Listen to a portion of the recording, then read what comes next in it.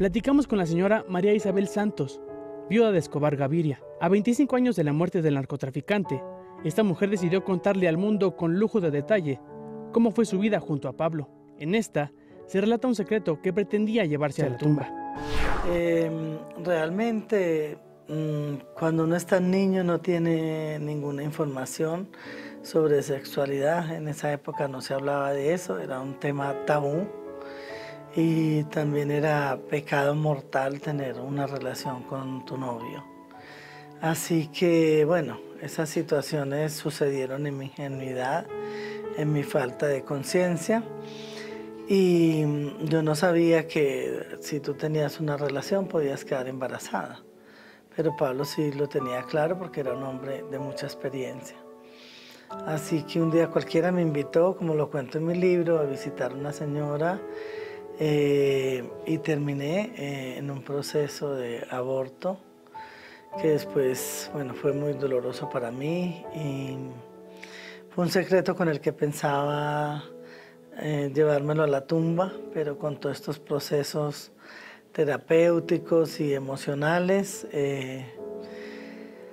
Un día en esas terapias apareció de nuevo ese recuerdo y bueno, mi médico escribe eh, la situación por la cual yo pasé y sufrí, que en ese momento no lo entendí. María Isabel y Pablo tuvieron dos hijos, Sebastián y Manuela. Ella cuando se enteró de lo que su padre le pidió a su madre, quedó destrozada. Eh, ella le impactó muchísimo y me decía, no, no puedes ser mamá, te hubiera podido costar la vida, te hubieras podido morir, que es esa locura, podríamos mi hermano y yo no existir. No puedo entender cómo mi padre hizo una cosa de esas. Para tener una vida junto a Escobar, la señora María Isabel decidió dejar atrás a toda su familia, iniciar una nueva vida. A ver, yo conocí a Pablo Escobar cuando tenía 12 años en el barrio La Paz de Envigado.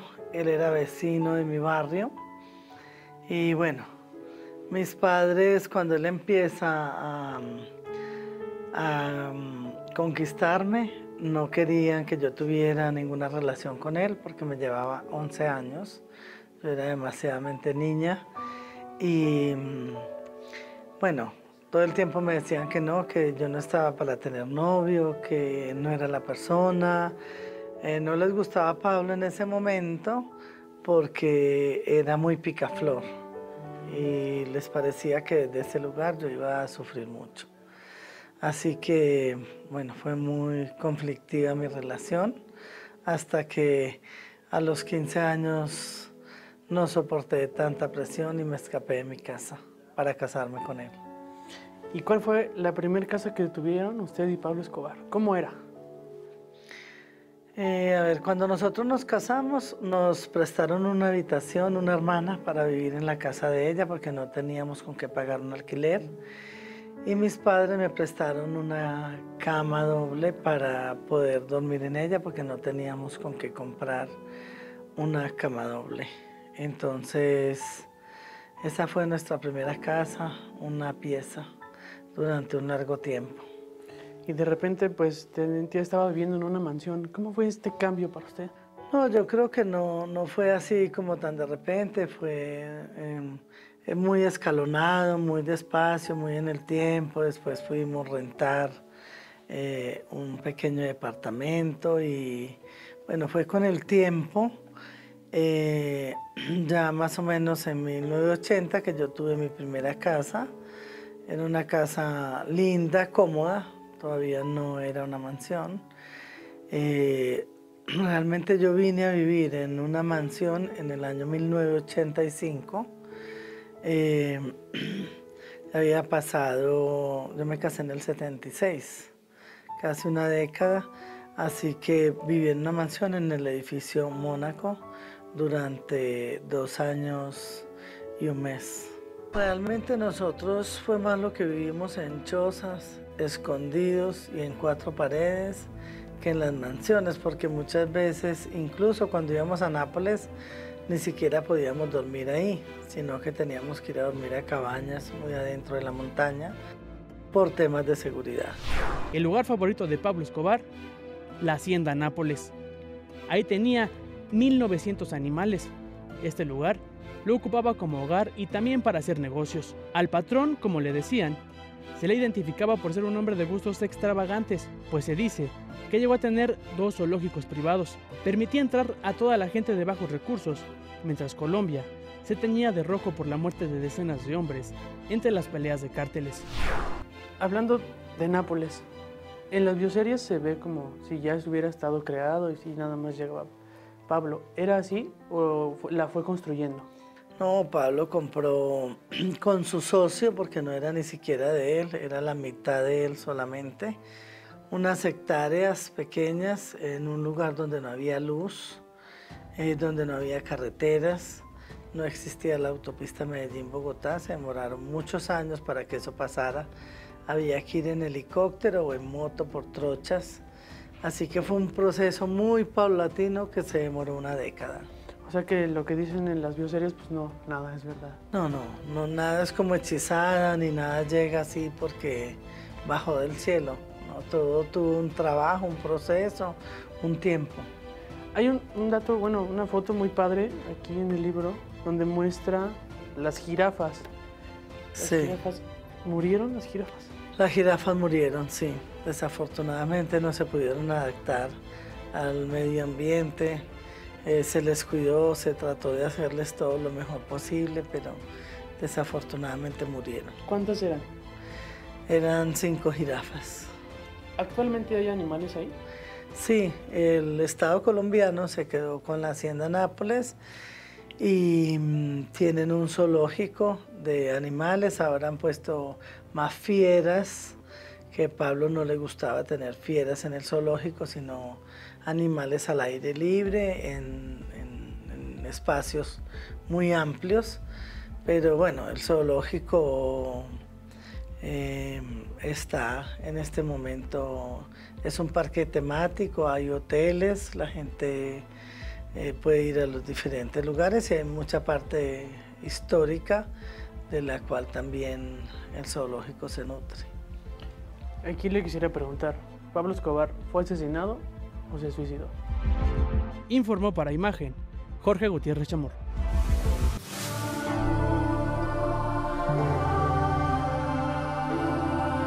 Aquí le quisiera preguntar, ¿Pablo Escobar fue asesinado o se suicidó? Pablo se suicidó porque él incumplió todas las reglas que siempre nos decía a nosotros. El teléfono es la muerte. Y ese día nos llamó alrededor de 15 veces, le suplicamos que no, que no. Yo pude hablar con él dos minutos antes de que se muriera y mi hijo casi en el minuto en el que estaba saliendo, corriéndole a la policía y él se suicidó. A mí me dijo que no me preocupara, que esté tranquilita mi amor, que todo se va a solucionar. Ya pasamos por la parte más difícil, eh, las cosas van a salir bien, no te preocupes. ¿Y usted qué le dijo? Yo le dije, mister, yo le decía, mister, cuídate eh, porque tú sabes que te necesitamos mucho, por favor, y me puse a llorar. Esas fueron mis últimas palabras. El 2 de diciembre de 1993, tras la muerte de Escobar, la señora María Isabel cuenta que empezó a pagar todos los precios por haber sido esposa de Pablo Escobar durante 17 años. ¿Cómo fue la vida de la familia de Pablo Escobar cuando Pablo pues se fue de este mundo? Eh, la vida siguió siendo eh, como un tsunami. Eh, sus enemigos querían matarnos y a partir de ese momento tuvimos que empezar una negociación con los carteles para proteger la vida. Yo estaba viviendo en ese momento con el Estado colombiano y bueno, ellos eh, avalaron estas reuniones para evitar eh, que corriera más sangre en el país. Y al fin de toda esta dolorosa historia, logramos el objetivo y recuperar la paz en Colombia. Quisiera detenerme un momento ahí. Sabemos que fue una reunión con 50 cárteles que fue organizada por el cártel de Cali. ¿Cuántos días tuvo que estar negociando con todos los cárteles para pues evitar que pues siguieran con las represalias contra ustedes? 360 días. O sea, podríamos decir que estuvo todo un año en negociaciones. Estuve todo un año en negociaciones, era muy difícil, había mucho dolor.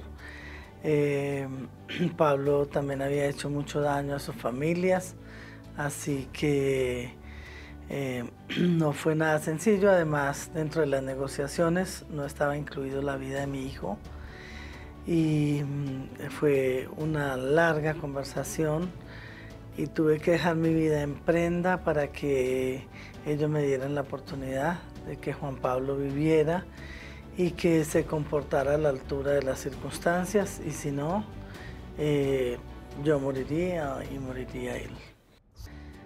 Pero por el encierro y, los hechos que yo veía todos los días en los diarios, veía que no había opción y, y me duele profundamente haberme apropiado de la vida de mis hijos y haber pensado que lo mejor era que nos mataran a todos. Eh, realmente yo no veía esperanza y tenía mucho temor por el que quedara vivo. Entonces prefería que todos murieran. Prefería que todos muriéramos. Nosotros salimos de Colombia y llegamos a Mozambique, que fue el país que en ese momento nos ofreció la posibilidad de estar eh, fue el único en el mundo. ¿Ustedes lanzaron alguna solicitud para que alguien les diera asilo? Eh, miles, yo toqué todas las embajadas del mundo y me dijeron que no, que no tenía derecho a nada porque era la vida de Pablo Escobar. Eh, no pudimos permanecer allá porque era un país devastado por la guerra, no había posibilidades de educación, no había oportunidades para nada. Y bueno, dada la depresión de mis hijos, nos regresamos sin rumbo y de casualidad llegamos a Argentina. ¿Qué pasó con sus hijos en Mozambique? ¿Alguna vez pensaron en cometer pues alguna tontería? Sí, o sea, mi hijo Juan Pablo eh, estaba muy deprimido y me dijo que si no lo sacaba de ahí, él se iba a suicidar. Para poder seguir con vida, su familia y ella tuvieron que cambiar de identidad. Y por esa razón, eh, al final de todo este apoyo del Estado colombiano, tuvimos que pedir un cambio de identidad, a ver si teniendo un nombre diferente podíamos pasar por migraciones. Y bueno, el Estado nos apoyó en esa decisión. Tras un largo camino pasado por todo tipo de situaciones por estar marcados con el apellido Escobar, María Isabel y sus hijos salieron adelante. Toda esta historia porque seguimos pagando un precio muy alto, seguimos siendo discriminados en todos los ambientes sociales, trabajar es muy complicado, o sea, es como reinventarse la vida en, el día a día. ¿Qué hubiera sido de, usted si no se hubiera casado con Pablo Escobar? Pues mm, es una pregunta que solo Dios sabe pero bueno, yo conocí a Pablo Escobar a los 12 años en el barrio La Paz, era vecino del barrio y yo creo que son como eh, los temas del destino, ¿no? Eh, había muchos chicos en el barrio y a mí me tocó estar con Pablo Escobar, que era un chico absolutamente normal. Eh, el muchacho del barrio, tenía mucha empatía con, las mujeres y todo esto. En un capítulo de su libro habla sobre las mujeres de Pablo Escobar. ¿Usted qué siente contra estas mujeres? ¿Odio? ¿Qué siente contra ellas? Informó para Imagen Jorge Gutiérrez Chamorro.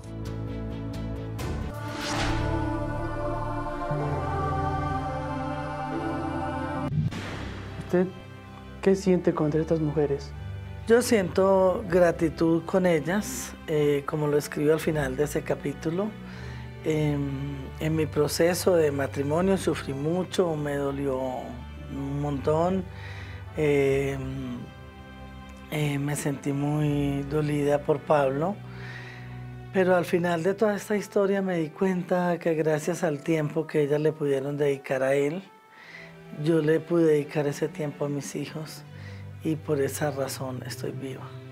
Virginia Vallejo era la modelo y presentadora más deseada de Colombia, quien tenía a sus pies a ricos, empresarios, políticos y por supuesto Escobar, puso sus ojos en ella. Cuando Pablo murió, Virginia, una de las mujeres de Pablo, acusó a María Isabel de haberse quedado con los millones del narcotraficante y así le respondió. Bueno, que hace 25 años tanto ella como la justicia de Colombia y de Argentina me ha, me ha venido persiguiendo y todavía no tienen una respuesta al respecto, ni yo tampoco.